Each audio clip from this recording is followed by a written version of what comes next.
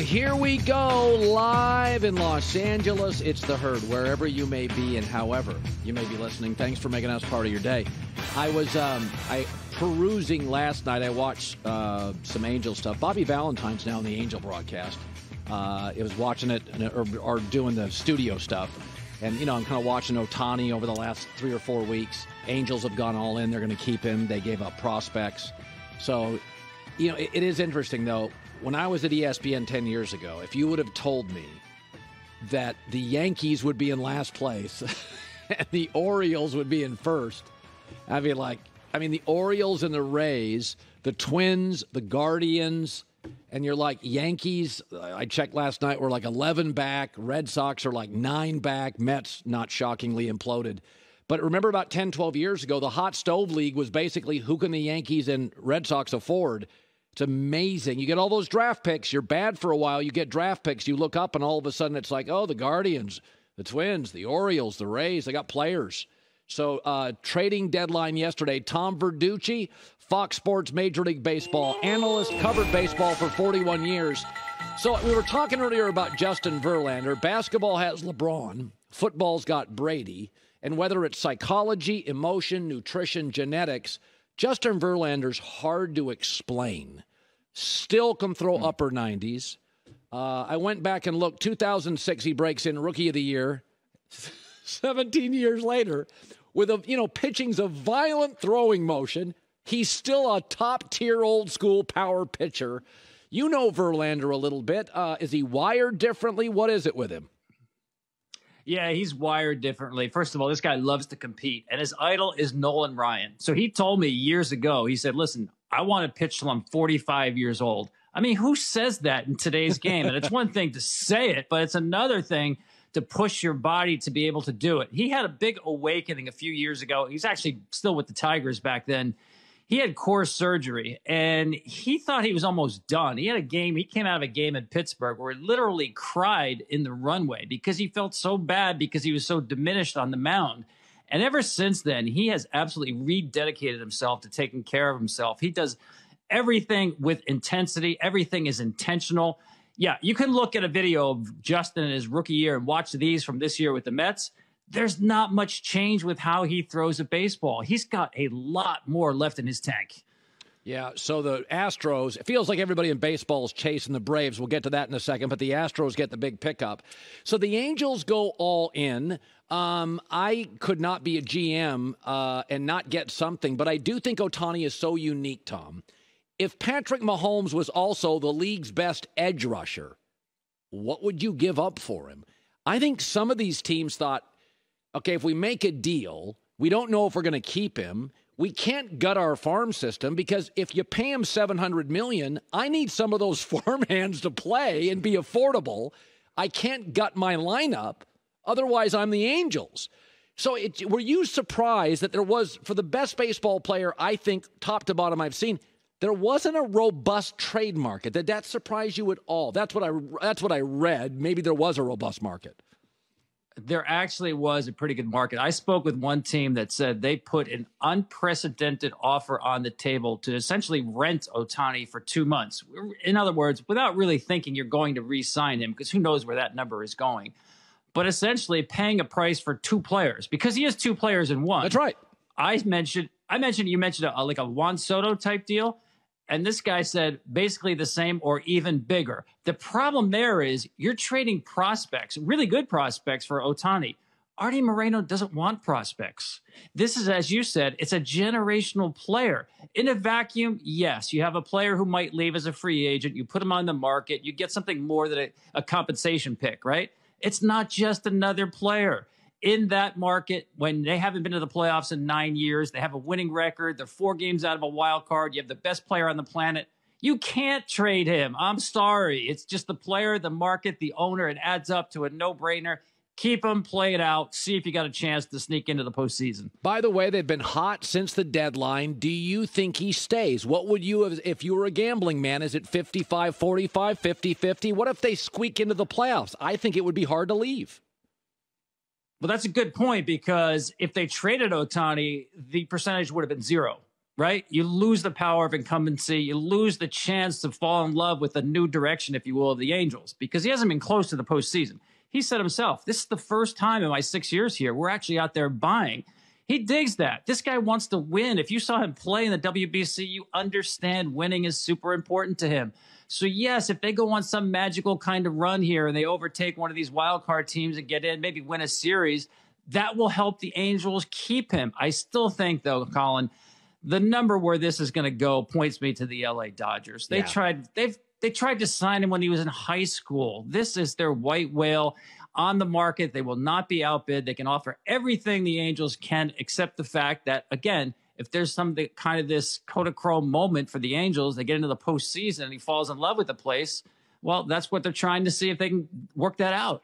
So a few years ago, uh, the Dodgers got Mookie Betts from the Red Sox, and so they move off Mookie and, and uh, Bogaerts, and so you say to yourself, I can understand that's a lot of talent if they move down a little. They weren't going to spend the big money. But the Mets did spend the big money. The Yankees generally spend the big money, and they've struggled. One's imploded, one can make a wild card spot. So let's just concentrate on the Yankees. Whereas their rival, the Red Sox, moved off big price tags. Yankees go out and get Gerrit Cole and pay Aaron Judge, Giancarlo Stanton. Do you view the Yankees as a significantly underachieving team this year? I'll go back to last year, Colin. You go back to July of last year, they're 93 and 92. They've essentially been a mediocre team for more than a full calendar year. And the reason why is you look at that team, they've gotten old in a hurry, right? You mentioned Boston. They've had tremendous contributions from people like Jarren Duran and, and Casas, and these guys coming up from their farm system. I don't know if they're a playoff team right yet, but I know they're in the mix because – they're playing the game that you need to play in today's game. When you look at Baltimore, you look at Cincinnati, you look at Arizona, you need athleticism, you need speed. The Yankees don't have that. And they've counted on their older players reaching what they call the back of the baseball card, right? DJ LeMahieu, uh, Anthony Rizzo, Giancarlo Stanton. Well, they're going the other way right now. Yeah. And if you watch the Yankees since Aaron Judge got back in the lineup, there is no protection for him. So right. even the effect of Judge is muted because nobody mm-hmm. will throw him a strike. Yeah. Um, so uh, the the sport is chasing the Braves, not a shock. They're very well run. They have been forever. They have stars. They have a great farm system. But a couple years ago, two of the last four World Series champs, the Nats and the Braves, were under 500 until deep into the summer. In fact, the Braves were under 500 like August 5th. August, I mean, they, they, they were scrapping to get to it. So that's, that's generally rare. But is there a team Philadelphia jumps out to me. Is there a team to you that that that is? Uh, I don't know what their record is right now, so I don't know if they're under 500. But tell me a team that's in the 500 or below, slightly. Padres, maybe. I think they're uh, under it. That you think keep your eye. They're a Nats Brave story. Well, the Padres is the only team that can do that right now. They are under 500. You look at their roster and you go, this team's loaded with all stars. Right. Why can't they get on a run? Well, we've watched them for 100 games, and you know what? They get in their own way. There's something about this team that has not clicked the entire year. Doesn't mean it won't happen, but Colin, they're going to have to go 35 and 20 the rest of the way to get in the postseason. Can they do it? Yes, when you look at the roster. But if you watched them all year, you would say no. They made some changes at the deadline, kind yeah. of tweak things around the edges, yeah. help a little bit.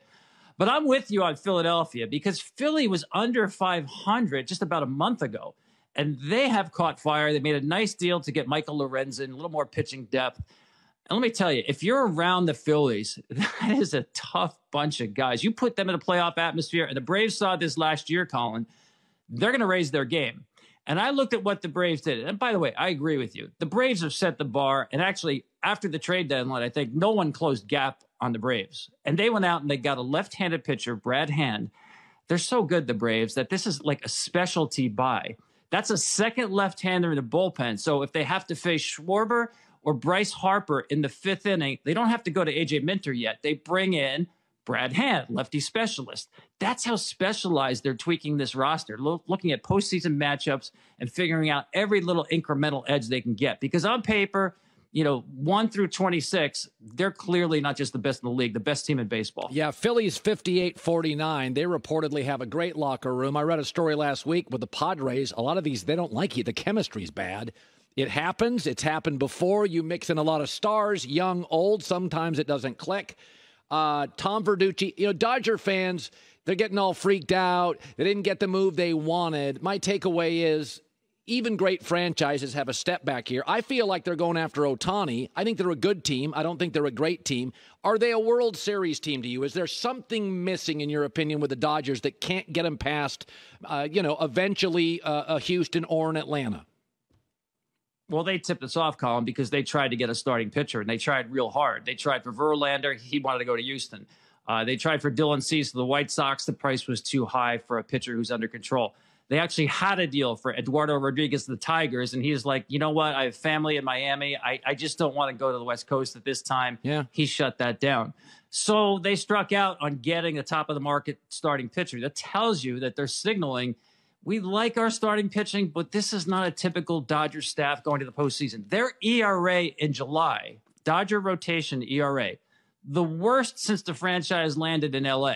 Oh. so I think the questions about their rotation are legit, and we're back to them relying heavily on Clayton Kershaw in a postseason environment. Yeah. I think is he have a one year left? This is this it was it a one year deal? Yeah. Yeah, I, I think he's a Dodger for life. It's all about, you know, how much he wants to keep pitching. Yeah.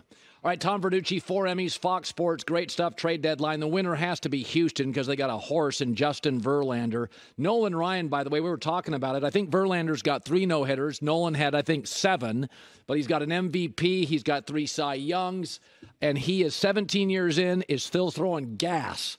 Uh, Justin Verlander. So, way to go, Houston. Tom, as always, a total pleasure to see you. Thanks, man. Yeah, always fun, Colin. Thanks. You bet. Yeah, I read a story last week in the Padres. The players don't like each other. There's all sorts of chemistry issues. Remember, I told you uh, two weeks ago, I said there's a baseball team. If you could bet it, underdog bet it, it was the Phillies.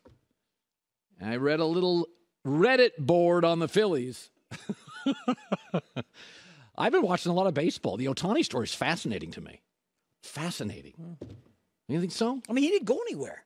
Well, I know, but it's still, they've got to get to the playoffs for him to stay. That's going to be a $700 million deal. It would have been way more fun if he had left and then as a free well, agent not fun, could go again. Not fun for the Angels. Fun for who? Yep. For everyone else who follows baseball, the only winner here is Angels fans. That's it. And it's.